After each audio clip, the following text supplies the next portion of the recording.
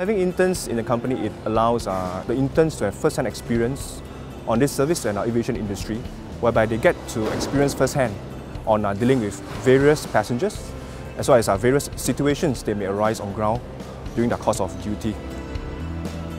When interns first join this internship in Changi Airport Group, uh, they're actually being put through a series of uh, courses whereby we'll actually hold their hands and uh, show them on ground, firsthand, on how to deal with um, situations as well as dealing with difficult passengers. What they learn in school and uh, what they experience on ground during the course of internship, it may vary slightly. So it is very important that they remain coachable uh, so that they are able to integrate what they have learned in school and what they have experienced on ground to function as a better intern.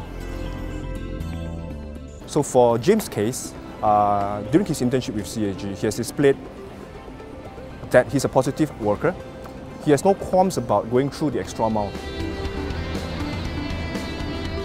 During the internship, the training provider and the supervisions from my supervisor provides me with the knowledge and confidence that I needed to do my job well. Firstly, I had the chance to be attached to the best airport in the world and secondly, I have also gained exposure to the airport real-time ops which we can't experience that in school. After the internship, I found passions in serving passengers. I like to talk to them and also help them when they are in need. With this full-time job, I have plans to take up a part-time degree to upgrade myself and at the same time I can carry on what I love to do in the airport.